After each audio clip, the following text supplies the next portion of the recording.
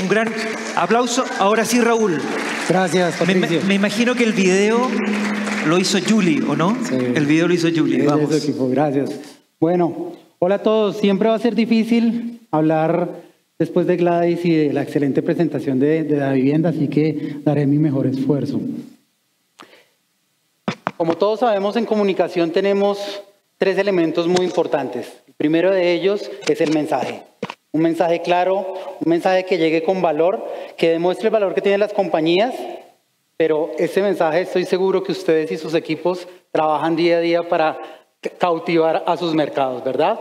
El segundo elemento es la audiencia, llegar a la persona correcta con el mensaje correcto. Nada sacamos con nuestros equipos trabajando muy fuerte atrás, tras bambalinas, días, horas de trabajo para llegar a la persona incorrecta porque estamos posicionando el mensaje a una persona diferente. Y el tercero es el canal. Qué lío que tenemos con los canales de comunicación, porque cada vez la tecnología nos permite y nos trae nuevos retos como empresa. Y el canal hoy no solamente es el medio para llegar a esa audiencia correcta y pasar el mensaje correcto. Es también la posibilidad que tengo de conocer a las personas con las cuales quiero empezar a establecer una relación comercial. Y ni hablar de la estrategia corporativa en comunicación. Cuando los estrategas en comunicación de sus empresas se empiezan a hacer esas reuniones estratégicas, se encuentran con muchos desafíos. El primero de ellos, cultura. Es diferente llegar a una persona en Colombia que llegar a una persona en México u otro país.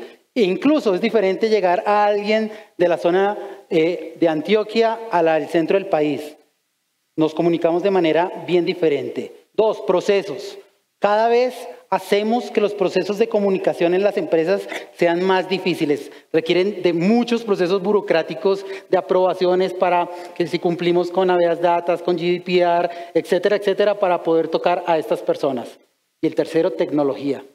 No tenemos claro los procesos al interior para implementar canales de comunicación adecuados para llegar a nuestros clientes. Soy Raúl Calderón, dirijo la estrategia comercial en el sector financiero de México a Ecuador. Y hoy quiero contarles un poco cómo aprovechar la omnicanalidad para transformar esa experiencia en sus clientes. Pero para comenzar, necesitamos entender la diferencia entre ser multicanal y ser omnicanal. Porque estoy seguro que ustedes ya tienen muchos canales eh, de interacción con sus clientes, ¿cierto? Y eso no es la omnicanalidad, eso es el habilitamiento de canales, ya sean tradicionales o digitales, para poder llegar hacia sus clientes. Pero no la confundamos con la omnicanalidad, porque la omnicanalidad es el proceso donde esa comunicación también está entre los canales. Esta mañana escuchábamos a, a una persona que decía, la estrategia tiene que ser la misma sin importar cuál sea el canal. ¿Cierto? Pero ¿qué retos tan importantes tenemos a la hora de hacer implementaciones de un nuevo canal? Que en muchas organizaciones, lo he escuchado de muchos de ustedes, nuestros clientes, prefieren no abrir un nuevo canal porque en lugar de traer cosas positivas, traen son dolores de cabeza. Y eso es porque no tenemos una correcta idea de cómo implementar estrategias digitales en omnicanalidad. Cuando nos enfrentamos en el viaje de nuestros clientes a través de cada uno de sus negocios, empezamos a identificar muchos puntos de, verdad con ellos, ¿no? Y empezamos a diseñar estrategias para poder tener el mayor acercamiento y poder tener la mayor data posible de ellos para poder personalizar nuestros productos, porque de eso se trata todo esto, la hiperpersonalización. Es la nueva tendencia, es, que el cliente sepa y reconozca que yo estoy haciendo mi tarea y sé quién es, quiénes son sus gustos, cuáles son sus canales favoritos, cuáles son sus horarios favoritos. Y nos concentramos, si están las áreas de mercadeo, se identificarán de acá para allá. Todo el trabajo que hacemos sobre la marca, todo el trabajo que hacemos sobre cómo capto más datos, cómo capto más información, cómo hago que las personas se interesen por mi marca, pues tenemos allí. Pero cuando nos enfrentamos a cómo los contacto a través de los canales que tenemos habilitados, sean tradicionales o sean digitales, nos enfrentamos con una barrera. Nos enfrentamos con el choque de tecnología donde nos dicen, no, esperen porque sacar este nuevo canal es un proyecto de seis meses y la campaña tiene que salir la próxima semana. El producto está listo la próxima semana. Entonces, mejor utilicemos los mismos canales tradicionales de siempre, ¿verdad? Eso es lo que ocurre. Y ni decir ahora con todo aquello que nos llaman banca insurance de transaccionalidad, banca conversacional, banca que no sacar el banco del canal de comunicación. ¿Han escuchado ese concepto? Los, los estadounidenses son muy adelantados en esto, en Europa ya hay mucho adelanto de esto, donde puedes hacer transacciones por diferentes canales. Ya no tienes que únicamente utilizar la, la app, donde evidentemente todos nuestros speakers de, de bancos que nos han acompañado están haciendo importantes esfuerzos en llevar a sus usuarios a la app, pero hay personas que no les interesa, hay personas que tienen a WhatsApp y no quieren salir de WhatsApp y hoy en día ya podemos tener el banco dentro de WhatsApp, ya lo podemos tener dentro de muchos otros canales que anteriormente era un mito. Y cuando llegamos al servicio, esto sí es otro cuento. El servicio nos lleva a cómo fidelizar, a cómo hacer que sus quejas, peticiones o reclamos sean de una manera clara, pero de una manera transparente. Y allí es donde realmente ponemos a prueba nuestra omnicanalidad. Porque no les ha pasado que si la gente prefiere ir al banco a pedir, a poner sus PQRs, porque si llama por teléfono es toda una serie de procesos eh, digitales, IBRs, automáticos, inteligencia artificial, pero que a la larga no le resuelven. Entonces, trasladamos los costos del canal más costoso, que es el, presencial, a canales digitales que en teoría son más económicos, pero que si no lo hacemos de una correcta manera, estamos afectando nuestra reputación, los NPS y todos estos indicadores que lo que hacen es alejar a esas personas que con tanto trabajo conseguimos acá, la primera parte, perderlos por no tener claro una correcta estrategia de servicio. ¿Y por qué no lo hacemos? Porque nos enfrentamos a esto. Tenemos todo un viaje de nuestros clientes a través de muchos canales Hoy en día existen más de 20 canales de comunicación entre tradicionales y digitales y nos enfrentamos a unas complejidades de múltiples proveedores, de múltiples configuraciones, múltiples dispositivos, etcétera, etcétera. Y cuando vemos esto, muchas veces preferimos hacernos hacia atrás y perder todo el trabajo recorrido. Nuestra oferta en Infobip es que somos una plataforma, somos, el, somos una empresa croata, somos el primer unicornio croata eh, que desarrolló soluciones primero pensando en los clientes. ¿Esto qué nos garantiza? Nos garantiza que tenemos más de 15 canales hoy integrados para servicios de ustedes, donde la complejidad de la administración se, se, elimina, pero adicional a eso sumamos una capa más, una capa de servicio eh, como servicio, SaaS a Service, donde con base en los canales que ustedes decidan para sus clientes sea simplemente habilitar o deshabilitar con un clic. No hay la tecnología nos la dejan a nosotros. Ustedes desde el área funcional pueden simplemente apagar o prender canales de comunicación para aprovechar, para aprovechar soluciones que tenemos en la parte de automatización de marketing, donde sabemos que el email es las grandes marcas de automatización de marketing están vienen nativas con email, pero se quedan ahí. Súmale otro canal a esas grandes marcas y tienes un proyecto de seis meses en el mejor de los casos. ¿sí? Aquí con nosotros es cuestión de prender y apagar canales. Tenemos chatbot con inteligencia artificial, creo que toda la mañana nos, han hablado de eso. Nosotros también lo tenemos, tenemos unos casos de uso en banca muy importantes donde le ayudamos a ustedes a disminuir tiempos en respuesta, les ayudamos a ahorrar costos y finalmente a la fidelización de sus clientes. Y tenemos un Contact Center Cloud que la gran ventaja es que como nacimos en los canales, fue nuestra prioridad. Cómo hacer vivir una correcta y real omnicanalidad en cada una de las soluciones que tienen con nosotros. Ahora, ¿qué es lo que hacemos? Los clientes que trabajan con nosotros tienen unas ganancias bien enormes. Estos son datos eh, que tenemos de nivel Latinoamérica, donde el aumento de la satisfacción de los clientes, la productividad de los agentes de servicio y absolutamente todos estos KPIs que son importantes para ustedes y son importantes en el proceso de experiencia del cliente, los ayudamos en, la consecución de ellos. Tenemos más de 40 casos de uso. Estos casos de uso son importantes porque nos ayudan a entender las necesidades que ustedes como compañía tienen con sus clientes. Y lo hacemos de tres maneras, ya sea o que ustedes tengan un equipo desarrollador muy fuerte y quieran complementar con eh, temas específicos de canales o temas específicos de áreas puntuales, ya sea que ustedes quieran comprar una solución que esté hecha y que ustedes adecúen esto, no es recomendable porque hablamos de hiper, hiperpersonalización, así que no es recomendable, pero algunos de los clientes lo quieren hacer. Y otra es la co-creación. Aquí somos muy fuertes, tenemos un equipo dedicado a estar con ustedes y con sus clientes para que en conjunto podamos entender las necesidades que ustedes con la data, que seguramente son varios megas de, pentabytes que tienen de sus, de sus clientes, podamos hacer cosas en conjunto y podamos ayudar a construir esto. Pero bueno, no me voy a quedar acá. Estos son algunos de los locos que tenemos muy relevantes en la industria. Muchos de ustedes están acá. Tenemos más de 450 clientes en Colombia, son más de 1.200 clientes en América Latina y tenemos más de 60.000 en el mundo. Somos una empresa que está en 70 países. Eh, tenemos claro cuáles son las necesidades que hoy en día en omnicanalidad tienen sus clientes y queremos ayudarlos.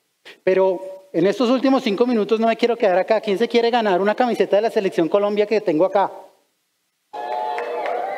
Súper sencillo, por favor escaneen este QR. Rápidamente les cuento de qué se trata. Necesito que llenen un formulario súper sencillo, súper, el QR sigue acá, súper sencillo. Lo único que les voy a pedir es en el número celular pongan el 57 porque es parte de lo que los operadores nos piden hacer.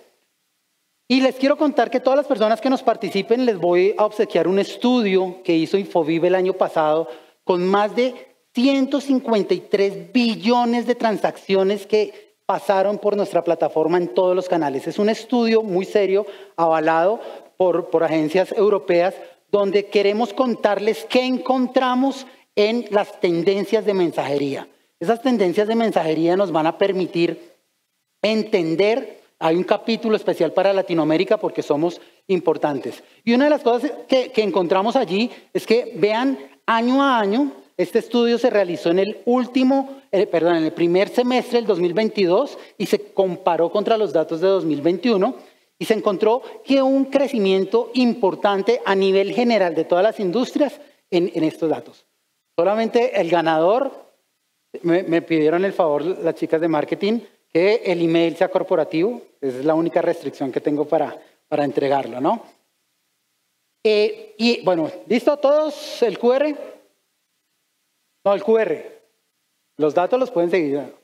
¿Qué es lo que vamos a empezar a, vivir? Van a recibir un correo electrónico donde van a descargar, pueden descargar toda nuestra información, van a tener un poco más de acceso a ella, pero aquí lo interesante es empezar a vivir cómo a través del entendimiento de sus clientes pueden eh, tener diferentes estrategias. Como hasta hoy nos estamos conociendo y ustedes están aplicando a este QR, pues no tenemos datos de ustedes. Pero seguramente con la data que empezamos a tener, nuestras soluciones empiezan a identificar ustedes dónde van a tener apertura, cuáles son eh, esos canales de preferencia, porque vean que eh, dentro de este estudio en el sector financiero hay un crecimiento extremadamente importante en uno en especial, que es WhatsApp.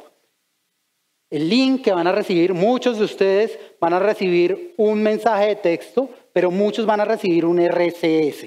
No sé si hayan tenido la oportunidad de explorar esa tecnología. Es una tecnología Android, eh, así que el que tenga Android seguramente le va a llegar. Vamos a tener Aquí van a ver un poco la, experiencia. Les voy a pedir el favor que hagan clic sobre el link que les va a aparecer en el mensaje de texto las personas que nos están colaborando, pero porque vean lo importante. Si nosotros no entendemos las estadísticas, seguramente no vamos a poder hacer cosas con, con la información. Y una de las cosas importantes es que cada vez los canales digitales cobran más relevancia sobre los canales tradicionales. Y eso es lo que nosotros queremos marcar. El bot que hemos construido es un bot muy sencillo, simplemente queremos eh, tener el consentimiento de sus datos y poder, y poder empezar a que ustedes tengan una experiencia. El bot tiene cuatro puntos. El primero es el video que vieron a continuación, eh, comenzando la charla, donde explica muy rápidamente quiénes somos. El segundo es para que vean todos los canales que tenemos hoy en día, digitales y físicos, y hay una pequeña experiencia con Google Business Message. Google Business Message eh, eh, es un canal de comunicación que va a tener mucha fuerza porque te permite hacer muchas cosas interactivas con tus clientes, así que ahí hay una pequeña parte donde ustedes pueden empezar a revisar esto. Y la cuarta es donde pueden descargar, eh, perdón, la tercera, pueden descargar este informe, igual a todos los que nos pusieron su correo, les vamos a hacer llegar el informe, es un PDF, eh, para que de verdad le saquen el mayor provecho a él. Y la cuarta es un contáctenos. Contáctenos donde eh, si hacen ahí, eh, van a tener acceso pues a mi perfil de, de, WhatsApp donde están mis datos, ¿vale? ¿Por qué Infobix? Muy sencillo, somos muy rápidos, escalables y fiables con lo que hacemos. Llevamos 16 años haciéndolo, tenemos en los canales las mejores tasas de entrega del mercado, tenemos una muy baja latencia y sabemos que para la banca todo el tema transaccional es crítico los tiempos de respuesta, estamos trabajando con los operadores para cada vez hayan menos caída porque trabajamos con más de 700 operadores en el mundo. Y eso es un dato importante porque si dentro de sus planes está la expansión internacional, lo pueden hacer también con nosotros porque estamos en más de 70 países. Ahora, ya para terminar, fue muy fácil hacerlo. Esto que ustedes están viviendo, que es muy sencillo, se hace con cajas. No hay código, no hay intervención de tecnología, sino una simple capacitación de cómo construir las variables que quiero tener dentro de la comunicación con mis clientes y lo disponibilizo. Pero también, ¿qué hago después con la información? ¿Qué hago con la información que ustedes depositaron en ese pequeño formulario? Empezar a entender y a conocer los gustos de mis clientes, los horarios de mis clientes, los canales de mis clientes toda aquella información que me permita ser mucho más asertivo para ello. Entonces, ya para terminar, ¿cuáles son los siguientes pasos? Simplemente, ¿quién se quiere ganar esto? Es muy sencillo. Escríbanme a mi WhatsApp, saben, eh, los que hicieron el Journey opción 4, cuál es mi deporte favorito y escríbanme una ventaja de trabajar con Infobip. Y primero que me aparezca con las respuestas correctas acá, ya en, dos, en un minuto que termina mi presentación, te la entrego aquí mismo. Pero ¿cuál es mi invitación? Mi invitación es, si alguna de estas preguntas es un sí, si quieren mejorar la omnicanalidad en sus, en, sus empresas, si quieren tener mejores canales de comunicación, si quieren integrar sus canales de comunicación o si quieren crear experiencias, los invitamos a que nos acompañen en el stand número 8. Allá vamos a tener una serie de ejecutivos que los van a atender, los van a escuchar y lo que queremos es que nos cuenten cuáles han sido sus retos, que nos cuentes cuáles han sido todas aquellas experiencias que seguramente ya han probado, pero que no les ha salido bien. Aquí están mis datos personales en este QR, está mi teléfono, mi correo, estoy a su disposición, Raúl Calderón. Muchas gracias, vamos a ver quién se llevó la camiseta.